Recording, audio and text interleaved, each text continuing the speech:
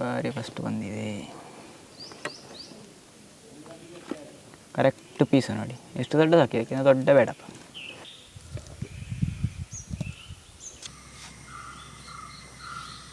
Hi friends ಇವತ್ತುಂಟಲ್ಲ? ಕಾಯಿ ಬರ್ಫಿ ಮಾಡ್ತಾ ಇದ್ದೇನೆ. ನಮ್ಮೂರಿನ ಅಡಿಗೆ ಭಟ್ರೆಲ್ಲ ಮಾಡುವಾಗಿರುವಂಥದ್ದು. ಎರಡು ಕಾಯಿ ತಗೊಂಡಿದ್ದೇನೆ ನೋಡಿ. ಅದನ್ನೊಂದು ಹೊಡೆದು ಕೆರೆದು ನಾವು ಕಾಯಿ ಬರ್ಫಿ ಮಾಡುವ, ಆಯಿತು? ಸಾಧಾರಣ ಒಣಗಿದಂತಹ ಕಾಯಿ. ಜಾಸ್ತಿ ಹಸಿ ಕಾಯಿ ಬೇಡ ನಮಗೆ ಬೇಗ ಪಾಕ ಆಗಲಿಕ್ಕೆ ಬೇಕಾಗಿದ್ದು ಒಳ್ಳೆ.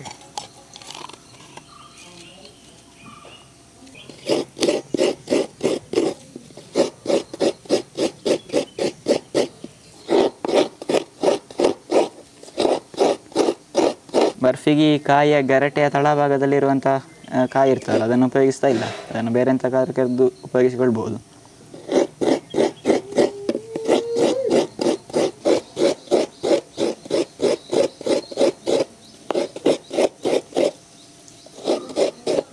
ನಮಗೆ ಕಾಯನ್ನೆಲ್ಲ ಕೆರೆದಾಯ್ತು ನೋಡಿ. ನಿನ್ನೆ ಇದನ್ನೊಂದು ಮಿಕ್ಸಿ ಪಾತ್ರದಲ್ಲಿ ಹಾಕಿ ತರಿ ತರಿಯಾಗಿ ಹುಡಿ ಮಾಡಿಕೊಳ್ಬೇಕು. ಸಣ್ಣ ಸಣ್ಣ ಹುಡಿ ಮಾಡಿದರೆ ನಮಗೆ ಬರ್ಫಿ ಕಟ್ ಮಾಡುವಾಗ ಕೂಡ ಸುಲಭ ಆಗ್ತದೆ.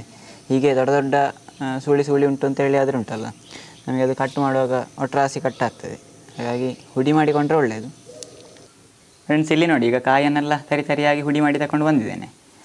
ಇನ್ನೀಗ ಇದಕ್ಕೆ ಪಾಕ ಮಾಡಲಿಕ್ಕೆ ಶುರು ಮಾಡುವ, ಆಯಿತಾ? ಪಾಕಕ್ಕೆ ಅಂತೇಳಿ ಇದರಲ್ಲಿ ಈಗ ಒಂದು ಸೇರಿನಷ್ಟು ಕಾಯಿ ತುರಿ ಉಂಟು. ಹಾಗೆ ಇದಕ್ಕೆ ಸಮ ಪ್ರಮಾಣವಾಗಿ ಒಂದು ಸೇರಿನಷ್ಟು ಸಕ್ಕರೆಯನ್ನು ಕೂಡ ತಗೊಂಡಿದ್ದೇನೆ ಒಂದು ಬಣ್ಣಲೆಗೆ ಸಕ್ಕರೆಯನ್ನು ಹಾಕಿಕೊಂಡೆ. ಪಾಕಕ್ಕೆ ಬೇಕಾದಷ್ಟು ನೀರು. ಸಕ್ಕರೆ ಮುಳುಗಿ ನಿಲ್ಲುವಷ್ಟು ನೀರು ಹಾಕಿಕೊಳ್ಬೇಕು. ನಮ್ಮಲ್ಲಿ ಕಾಯಿ ಬರ್ಫಿಗೆ ಸಕ್ಕರೆಯನ್ನು ಮೊದಲಿಗೆ ಪಾಕ ಮಾಡಿಕೊಳ್ಳುವಂಥದ್ದು ಆಯಿತಾ? ಸಕ್ಕರೆ ಸರಿಯಾಗಿ ಪಾಕ ಆದಮೇಲೆ ಕಾಯಿಯನ್ನು ತರಿ ಮಾಡಿದೆವಲ್ಲ ಇದನ್ನು ಸೇರಿಕೊಳ್, ಸೇರಿಸಿಕೊಳ್ಳುವಂಥದ್ದು. ಸಕ್ಕರೆ ಎಲ್ಲ ಕರಗಿ ಕುದೀತಾ ಉಂಟು ನೋಡಿ. ಯಾಕೆ ಸ್ವಲ್ಪ ಹಾಲನ್ನು ಹಾಕಿ ಇದರಲ್ಲಿರುವಂಥ ಮಡ್ಡನ್ನು ತೆಗೆದುಕೊಳ್ಳುವ. ಒಂದು ಎರಡು ಚಮಚದಷ್ಟು ಹಾಲನ್ನು ಹಾಕಿಕೊಳ್ಳುವ ಸ್ವಲ್ಪ ಕುದಿದಾಗ ಇದು ಮಡ್ಡೆಲ್ಲ ಇದರಲ್ಲಿ ಹಾಲಿನೊಟ್ಟಿಗೆ ಅಂಟಿಕೊಂಡು ಈಗ ಸೈಡಲ್ಲಿ ಸಿಗ್ತದೆ ತೆಗೆದ್ರೆ ಆಯ್ತು. ಮೊದಲಿಗೆ ಈಗ ಒಂದು ಟ್ರೇಯಲ್ಲಿ ತುಪ್ಪ ಹಾಕಿ ಸೆಟ್ ಮಾಡಿ ಇಡುವ. ನಮಗೆ ಬರ್ಫಿ ಎಲ್ಲ ಹಾಕ್ಲಿಕ್ಕಿರುವಂಥದ್ದು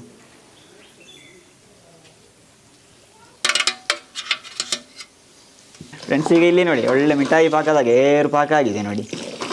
ಇನ್ನೀಗ ನಾವು ಈ ಹುಡಿ ಮಾಡಿಟ್ಟಂಥ ಕಾಯಿಯನ್ನು ಹಾಕುವಂಥದ್ದು. ಇದು ಹಾಕಿದ ಕೂಡಲೇ ಪಾಕ ಇಳಿತದೆ, ಆಯಿತಾ? ಇದು ಸ್ವಲ್ಪ ಚಂಡಿ ಪಾಸೆ ಉಂಟು ಕಾಯಲ್ಲಿ. ಎಲ್ಲ ಸೇರಿಸಿಕೊಳ್ತೇನೆ.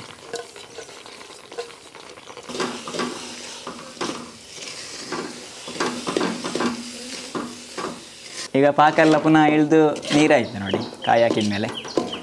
ಇನ್ನೀಗ ಇದು ಪುನಃ ಕುದಿದು ಕುದಿದು ಉಂಟಲ್ಲ, ಸಾಧಾರಣ ಒಂದು ಇಪ್ಪತ್ತು ನಿಮಿಷಗಳಷ್ಟೊತ್ತಾಗುವಾಗ ನಮಗೆ ಕಾಯಿ ಬರ್ಫಿ ಪಾಕ ಎಲ್ಲ ಸೆಟ್ ಆಗಿ ಬರ್ತದೆ ಅಂತ.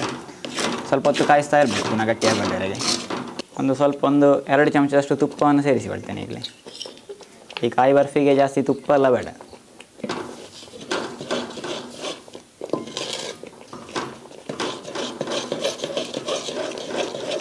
ಕಾಯೆಲ್ಲ ಹಾಕಿ ಒಂದು ಹತ್ತು ನಿಮಿಷ ಆಗುವಾಗ ಸಾಧಾರಣ ಗಟ್ಟಿಯಾಗ್ತಾ ಉಂಟಾಯ್ತಾ?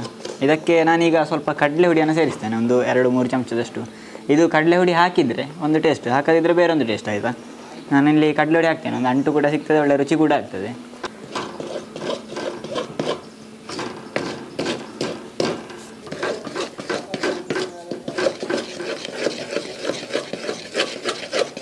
ಪರಿಮಳಕ್ಕೆ ಸ್ವಲ್ಪ ಏಲಕ್ಕಿ ಹುಡಿಯನ್ನು ಕೂಡ ಸೇರಿಸ್ತೇನೆ.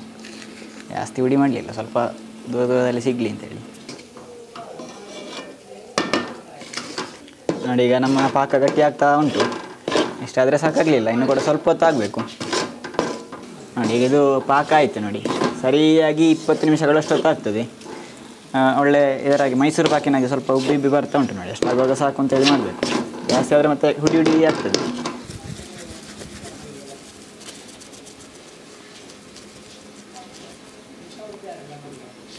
ಇನ್ನೀಗ ಇದನ್ನೊಂದು ಸ್ವಲ್ಪ ಲೆವೆಲ್ ಮಾಡಿಕೊಳ್ತೇನೆ.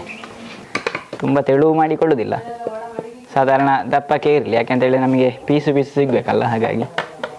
ನೆಗೆದು ಸರಿಯಾಗಿ ತಣಿಬೇಕಾಯ್ತು. ನೋಡಿ, ಒಂದು ಟ್ರೇಗೆ ಹಾಕಿ ಒಂದು ಐದು ನಿಮಿಷ ಆಯಿತು. ಇನ್ನೀಗ ಇದನ್ನೊಂದು ತುಂಡು ಮಾಡಿಕೊಳ್ಳುವ ಅಂತೇಳಿ. ತುಂಬ, ಅಲ್ಲ, ಒಂದು ಸಾಧಾರಣ ಬಿಸಿ ಇರುವಾಗಲೇ ಕಟ್ ಮಾಡಿಕೊಳ್ಬೇಕು. ಮತ್ತು ಸರಿಯಾಗಿ ತಣಿದ ಮೇಲೆ ಕಟ್ ಮಾಡ್ತೇನೆ ಅಂತೇಳಿ ಇಟ್ಟರೆ ಅದೆಲ್ಲ ಹುಡಿಯಾಗಿ ಹೋದಿತ್ತು ಕಟ್ ಮಾಡುವಾಗ. ಚೂರಿಗೆ ಹೋಗಲಿಕ್ಕಿಲ್ಲ. ಸ್ವಲ್ಪ ಬಿಸಿ ಇರೋ ಕಾರಣ ಕುಸ್ಕು ಕುಸ್ಕು ಅಂತೇಳಿ ಹೋಗ್ತಾ ಉಂಟು ಚೂರಿ ಕೂಡ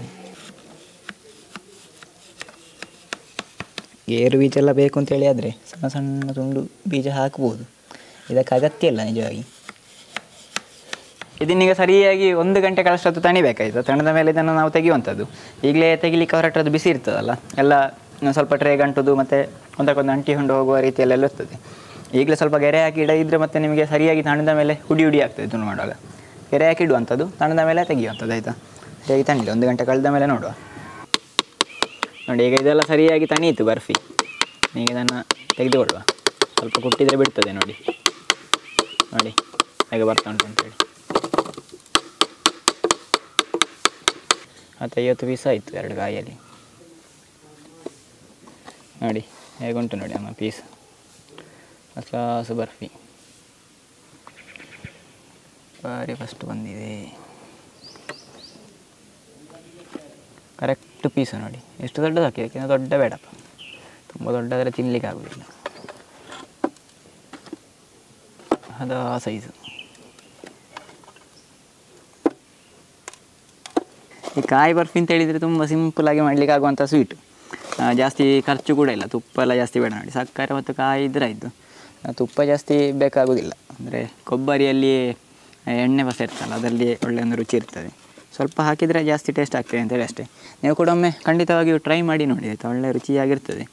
ಇದು ಪರ್ಫೆಕ್ಟಾಗಿ ಪೀಸ್ ಆಗಿ ಬಂದೆ ನೋಡಿ. ಇಷ್ಟು ದೊಡ್ಡ, ಅದು ಸೈಜ್ ಅಲ್ಲ ಪೀಸು ಒಳ್ಳೆಯದಾಗ್ತದೆ ನೀವು ಕೂಡ ಒಮ್ಮೆ ಟ್ರೈ ಮಾಡಿ ನೋಡಿ. ಇವತ್ತಿನ ವಿಡಿಯೋ ನಿಮಗೆ ಇಷ್ಟ ಆಗಿದ್ದರೆ ಖಂಡಿತವಾಗಿ ಈ ವಿಡಿಯೋನ ಲೈಕ್ ಮಾಡಿ, ಅದೇ ರೀತಿಯಲ್ಲಿ ಶೇರ್ ಮಾಡಿ. ನಮ್ಮ ಬಟ್ಟೆನ್ ಬಟ್ ಚಾನಲ್ ಇದ್ದರೆ ನೀವು ಸಬ್ಸ್ಕ್ರೈಬ್ ಮಾಡಲಿಲ್ಲ ಅಂತ ಹೇಳಿದರೆ ಸಬ್ಸ್ಕ್ರೈಬ್ ಮಾಡಿ, ನಮ್ಮನ್ನು ಸಪೋರ್ಟ್ ಮಾಡಲಿಕ್ಕೆ ಕೂಡ ಮರಿಬೇಡಿ. ಹಾಗಾದರೆ ಇಂತಹ ವಿಶೇಷವಾದಂಥ ವಿಡಿಯೋಗಳನ್ನು ಇನ್ನೂ ಕೂಡ ಬರ್ತಾ ಇರ್ತೇನೆ. ಮುಂದಿನ ವಿಡಿಯೋದಲ್ಲಿ ಸಿಗ್ತೇನೆ. ನಮಸ್ಕಾರ.